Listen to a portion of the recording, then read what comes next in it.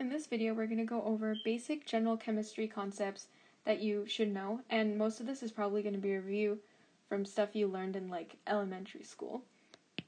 So first, let's get started with atoms and their structure. So in an atom, we have three components. We have protons, neutrons, and electrons. Protons and neutrons are located in the nucleus of an atom, and electrons are located outside of the nucleus in what are called energy levels. So there are different energy levels with electrons in them, and the nucleus is in the middle of all of these energy levels. So it is like so. So we have our nucleus, which contains of our protons and neutrons. And surrounding the nucleus, we have various energy levels or energy rings or orbitals.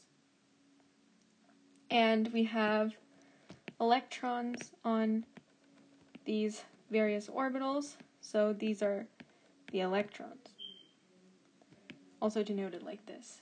So protons and neutrons in the nucleus make up the mass of make up almost the entire mass of the entire atom, and the protons are the are positively charged components while neutrons are neutral as hinted by the name. And electrons on on the outside are negatively charged. So this model that we have here with these energy levels and the nucleus in the middle that is the widely accepted model that is used today, and it is the Bohr model. Bohr model with all the energy levels. So, the thing about these energy levels is that electrons can jump up to a higher energy level, and a higher energy level means it has higher energy. So, electrons can jump up and be in an excited state. So if they're an ex- if they are excited, they move up an energy level and reach an excited state. And how do you excite an electron? You add either heat or other forms of energy, and that can excite an electron. And a way to remember this is that for us as humans to climb up a flight of stairs, let's say, we need to put in a lot of energy. Same way for the electron to climb up an energy level, they have to put in a lot of energy as well. Now, sometimes they can get excited for a brief amount of time and then they'll quickly fall back down to a lower energy level. And when this happens, a photon is emitted. So, this is the type of arrow that is used to denote the emission of a photon.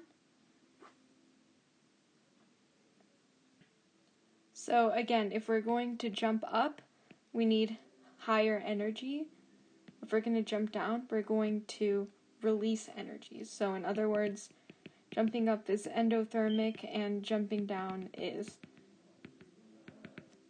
exothermic. And I just realized I forgot to mention when we have these various orbitals, the outermost electrons, so the electrons on the last and final orbital, are called valence electrons. So now let's move on and talk about how to identify atoms and get the basic information you need to know about them from the periodic table. So, we all know the shape of a periodic table it looks vaguely something like this, and it's broken up. This is really messy, I'm sorry, but it's broken up into the various elements that are found in our Earth. So, Let's zoom in on a possible element. So say we have oxygen. This is how it's going to be denoted on the periodic table. So what does all of this mean? So this letter O is the symbol that symbolizes the name of the element, which is oxygen. And below it we have the actual name of the element written down to make it easier for us. Now the number underneath is the atomic mass, and the number above, the 8, is the atomic number. So uh, the atomic number is the amount of protons in an atom. And the atomic mass is just what it sounds, it is the mass. But how do we get this mass? So we use something called the mass number. The mass number is the number of protons plus the number of neutrons in the atom.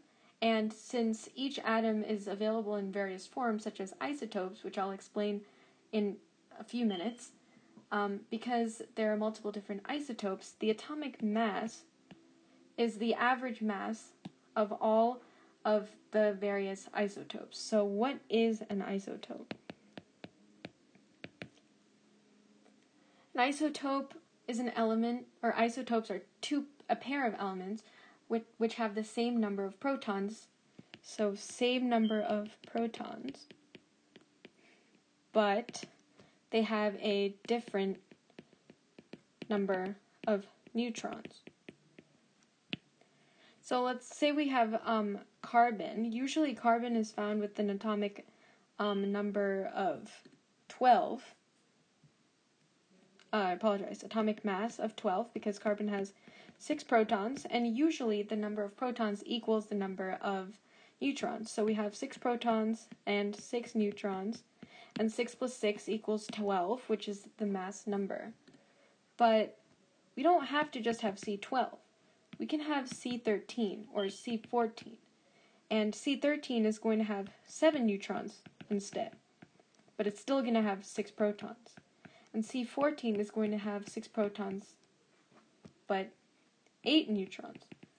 So these are the various isotopes, and we t- when we take the atomic masses of all of these, oh sorry, not the atomic mass, the mass number.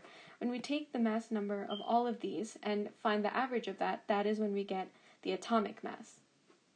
So there you have it. This is just a basic introduction of the things you need to know in general chemistry.